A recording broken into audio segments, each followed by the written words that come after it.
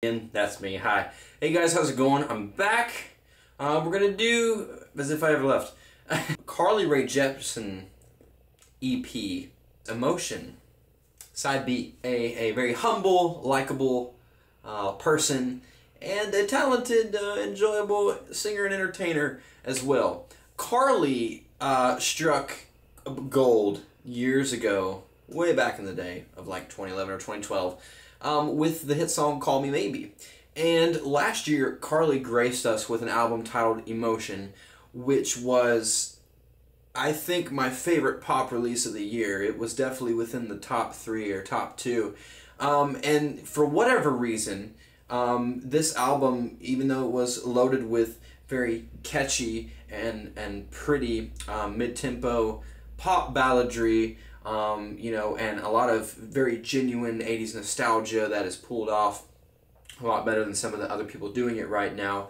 Um, there was a, a, major faux pas by listening audiences and by radio stations. You know, this album did not get nearly as much radio play as I think it should have gotten. Um, you know, aside from "I Really Like You," there weren't too, uh, there weren't any songs that became singles. Even though so many of these songs, like "Run Away with Me" and "Give Me Love" and "I Didn't Just Come Here to Dance," all these had potential um, to be radio ready. So as I said, you know, this was an album that I bragged a lot about. You can watch the review for it uh, on my channel. I'll try to include some sort of link um, in the description or in, a, in an annotations box.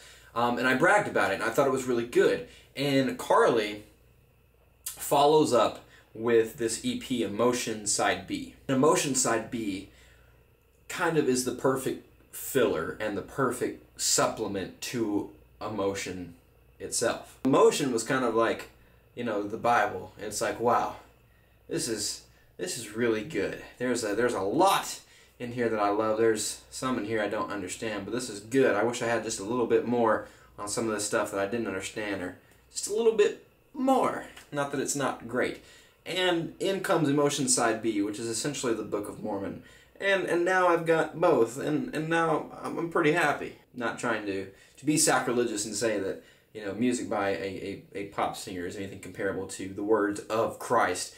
But that's I'm just trying to make a comparison. I feel like in 2016 um, there's so much garbage music going on. Um, I was looking for some sort of light, a, a, a ray um, of, of light to, to come in. And I think this is finally the EP that's done it. And this is the first thing that I've been excited about. The first thing that's really clicked with me this year. So I want to mention this. And um, Anthony Fantano, um, also known as the Needle Drop, also mentioned it on his review of this project. But I'm, I'm in total agreement here. Um, and I'll restate that, you know, with, with the whole late 70s and 80s nostalgia in music, um, and in, in, in art and culture that we're having right now.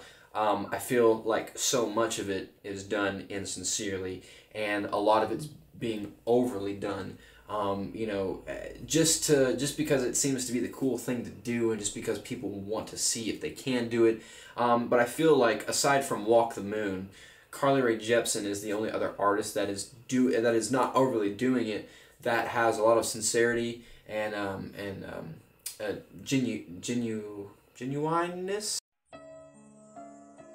It's it's it's very interesting how Carly pulls this off. It's like yes, it still has an '80s feel like the other one, but at the same time, the production is very different, and you're getting whole new sounds, more fun sounding. Uh, it's a lot brighter sounding for the most part. Uh, the way this thing starts off, this is probably the the most '80s song on here that you're getting. You're getting you know some uh, Madonna and Cyndi Lauper kind of uh, you know teen girly pop vibes on here. The song sounds like it dropped just essentially from somewhere between like 85 and 86. Just just fell from a time capsule onto Carly's album, but it, it, it goes over really well. There's so many elements on the song that contribute to that. You know, Carly Rae Jepsen having a, a higher, more squeaky, clean uh, voice on this, an up-tempo dance song. You know, you've got the reverbed out uh, keyboard cowbells that were very popular in the 80s. You know, those synth hits that sound just very very bright and very, very uh, uh, magical. It's good, and even the way the song starts out is is pretty nifty. You know, it, it sounds like an old frayed tape from the '80s being played, and it plays a bit of the. And, and they really did a fantastic job with with pulling the sound effect off. I'm sure it was generated on the computer, but it sounds like it is actually a tape. As far as the spectrum of, of topics on this compared to Emotion itself, um, you know, not much difference here. We're still talking about kind of that, uh, you know, younger adult love.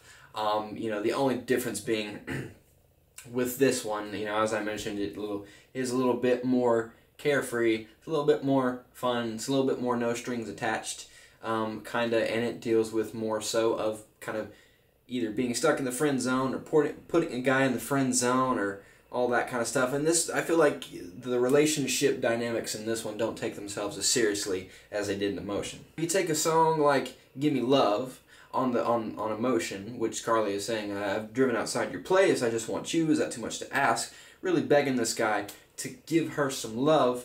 But then on this Emotion side B, we have songs like "Store" and "The One."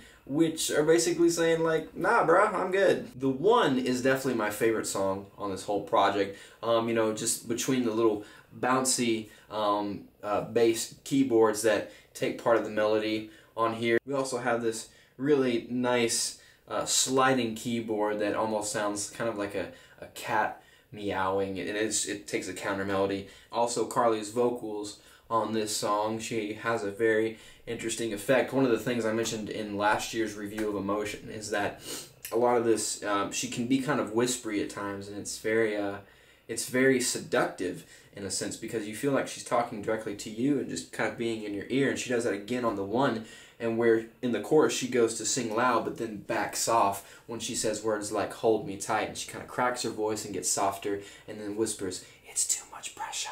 And uh, she just kind of kind of gets you excited, like, yeah, this is going somewhere. And then she says, no, and just kind of lets you go, and it's like, oh, Carly, Carly, you cold, and it just makes you it makes you want her, you know, or you know, not me personally, but you know what I mean. Um, but then we all, you know, as I mentioned, we have a song like "The Store," which is definitely the most humorous song on on the record. Uh, you know, Carly, you know, talking about how am I going to get out of the relationship with this dude. You know, we've kind of we kind of come to a close here. Like, there's not really anywhere else to go. And uh, so Carly just simply bounces happily and bubbly along to the store. Or at least so she says. This is the excuse she's giving a guy. The, the guy's basically like, Carly, where are you going? Oh, nothing. I'm just going out. No, where you going, babe? I'm just going, babe. I'm going to the store. Don't worry about it. She just straight lies to his face because this EP is still, you know, pretty, I'm not going to say innocent, but it's it's a lot more deep and a lot more meaningful in the dynamic of, of these relationships that she's she's portraying in her music. You know, uh, pop music nowadays, especially with female artists, uh, the Ariana Grandes and the Fifth Harmonies um, uh, of, of this world, just talk about, hey, let's just jump in bed. Let's just get naked and have sex for the sake of having sex, and then bye. Um, and and you know, Carly's not about that life. Carly paints these portrayals, and yeah, there's a little hint of staying the night and and and you know being passionate here and there, but she talks about the other things that come along with it. Um, some of the worrying about, uh, are you cheating me? Um, I'm insecure, or hey, like I understand we're we're friends, and and this you know we did have a thing, but the thing stops now. Fever Carly, instead of talking about, hey, we're going to do it, she says, look, your love is like a sickness to me. I've been infected with with the Zika virus that is wanting you, and and I I, I can't get rid of it. You wanna you wanna take a break? It, it, it's not going down like that. I'm I'm gonna steal your bike, and she stole the dude's bike, and she drove all night, and she was so scared to hear a singer talk about love and, and actually tell a story while they do it in 2016, wow. Christopher Walken moment. Wow. This saucy little firecracker took this man's bike, probably a moped, and drove, and she was frightened. There's a few other songs on the album that I won't go too much into depth. You can check them out if you want. We have the song Roses, which is a little bit more of the more somber, uh, song on this album, you know, comparing uh, Dead Love to Dead Flowers and, and all that fun stuff. We also have the songs Higher in Body Language, which are more synthed out dance songs that are a little bit less memorable, although Body Language does have kind of some clever lines in the chorus. I feel like, you know, had you taken some of those tracks off Emotion and, and used these instead, um, Emotion would have been like a flawless album. Um, but this EP in itself was pretty dang good. You know, um, like I said, the 80s thing that she's got going on, on here sounds way more sincere and way more genuine and heartfelt than other artists who are just trying to do it or their songwriters and producers are behind it. Um, you know, and, and Carly's vocals aren't anything that's going to super blow you away. She's not like she has crazy range or crazy vibrato, but for the music she's making and for the story she's telling, it really works and, and, and she pulls it off. Overall, for me, this album just gets a, a plain old B. Um, it, it was it was really good. There's a, a few tracks on here I didn't super care for. There's a couple on here that I really love, and then the other ones I, I, I may not be crazy about, but I can definitely appreciate. Um, so yeah, a B, a B, B, B. Um, okay, yeah, there are more reviews coming. uh, I promise. Right now, the power is out because of the whole hurricane hitting Tallahassee thing. Um, but yeah, we're working on it. I'm sorry things will be late. And uh, let, let me know what else you guys uh, want to see reviewed. All that fun mishmash of mashed potatoes.